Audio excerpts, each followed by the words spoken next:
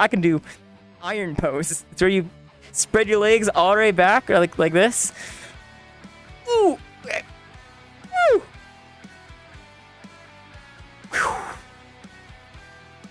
You do that?